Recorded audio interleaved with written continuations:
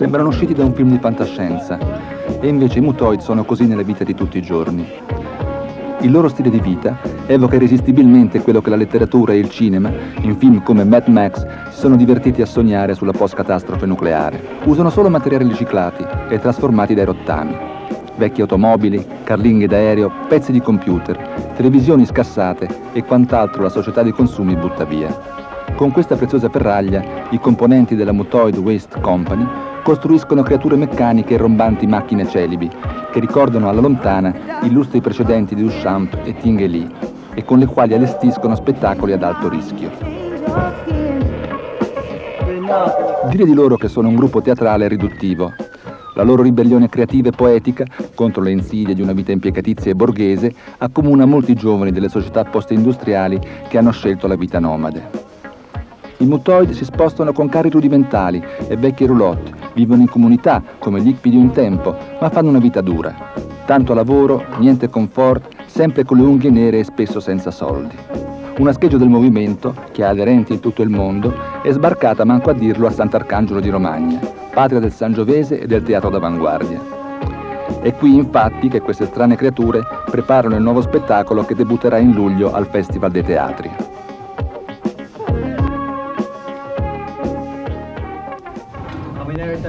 La Motoid West Company è una grande tribù disseminata un po' in tutto il mondo, in Australia, in Inghilterra, in Germania, in Olanda.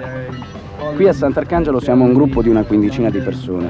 Stiamo insieme da circa sei anni e ci fermiamo ovunque ci sia abbondanza di rottami a buon mercato per il nostro lavoro. Ultimamente siamo stati anche a Parigi, Barcellona, Berlino. Come ci guadagniamo da vivere? Ci esibiamo nelle piazze e nelle discoteche. Ogni tanto sembra incredibile, c'è perfino qualche eccentrico che si compra una delle nostre sculture. La verità è che in Inghilterra, mm, durante gli ultimi dieci anni della Thatcher, si è chiuso qualsiasi spazio per chi vuole essere diverso e vivere fuori dalla norma. C'è un controllo sociale sempre più rigido. Pretendono che tutti vivano secondo gli stessi schemi e se provi ad inventarti uno stile di vita alternativo rischi di passare un sacco di guai. Questa è una delle ragioni per cui ho lasciato Londra, dove facevo l'insegnante, per raggiungere i mutoi. Qui tra noi i rapporti umani sono estremamente più liberi e ricchi. C'è una quantità di gente che si è stufata dal modello consumistico e di sopportare lo stress della città. Molti credono che una vita come quella dei motoid sia possibile solo se sei giovane e senza responsabilità. Beh, io vivevo a Londra con due figli, il mio bravo lavoro da assistente sociale e mi sentivo molto isolata. Ho trovato più semplice e divertente vivere così, da nomade. Anche i bambini adorano questo tipo di vita e sono convinta che ricevano un'educazione migliore che in una squallida scuola di periferia. I rifiuti sono ormai l'unica risorsa realmente disponibile sul pianeta. La gente continua a bruciare risorse preziose per costruire nuovi oggetti, nuove macchine. Uno spreco totale. Se si rendono conto che noi riusciamo a sopravvivere allegramente con quello che loro gettano via, forse cambieranno atteggiamento. Perché tutto deve essere nuovo? Noi buttiamo tutto, c'è troppo spreco. Perché comprare le cose nuove? Ci sono così poche risorse rimaste sul nostro pianeta. Perché non riciclare le cose ancora utilizzabili invece di buttarle? C'è ancora tanta vita nel materiale usato. Noi cerchiamo di riportarla alla luce.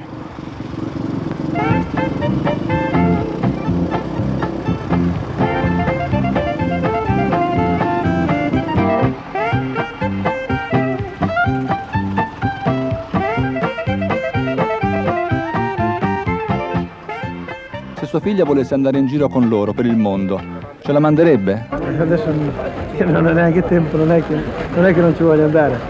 Ma non lei, dico sua figlia. Perché se, se si trova bene può andare. So dove abitano, no? E scusa che ho il cavallo, noi in passeggiata passiamo proprio nel loro campo dove hanno tutta l'attrezzatura e a volte ci fermiamo anche a vedere, a notare tutte questa, queste strutture che fanno loro, che sono cose proprio bellissime. Uno se non ci crede non le vede, non, se, non, se, non, vede non, non ci crede, insomma, capito? Abbiamo un grigio di pecore, il nomade praticamente. La mia vita si abbinava molto alla sua e quello che riconosco lì è presto molto. Io andavo, andavo come loro in giro per il mondo e vorrei ritornare ancora. Era più divertente? Più bello, più sano, cose belle. No, a chi, chi sì, però non dico di combattere con le mie donnine qui, però...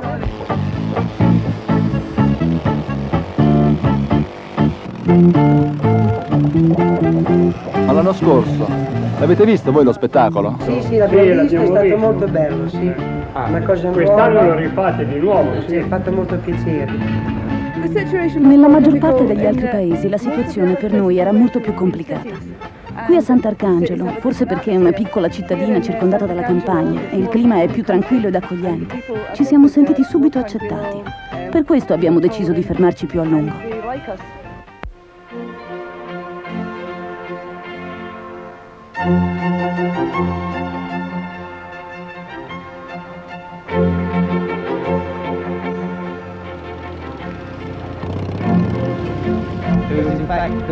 Ecco, quella che vedete è l'ultima macchina costruita da Joe Rush prima di partire per l'Australia.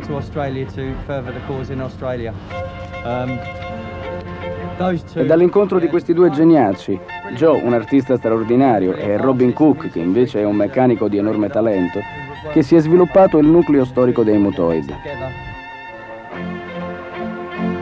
Sono tedesco. Ho vissuto molti anni a Londra dove ho incontrato i mutoid. Prima ero un meccanico di Formula 1 alla BMW, ma la mia vita è molto più divertente adesso.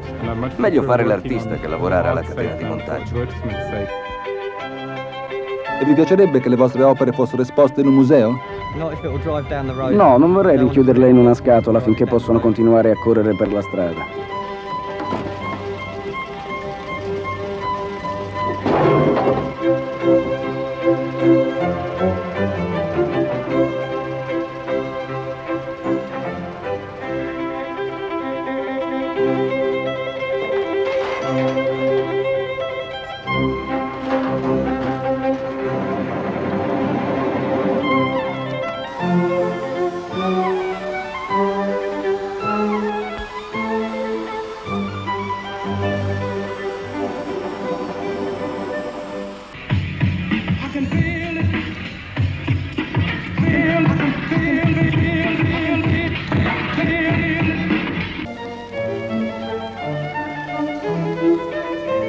Questa è la mia ultima creatura.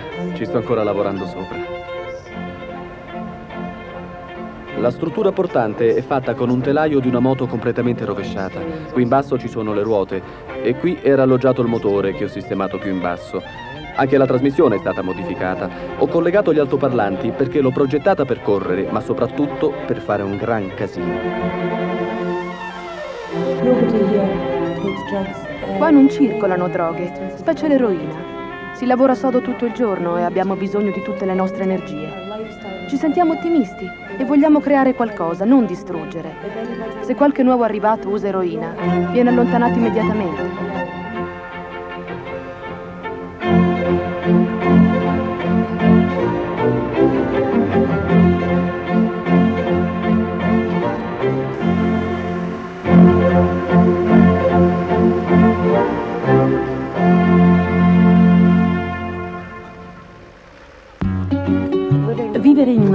È come vivere in una grande famiglia.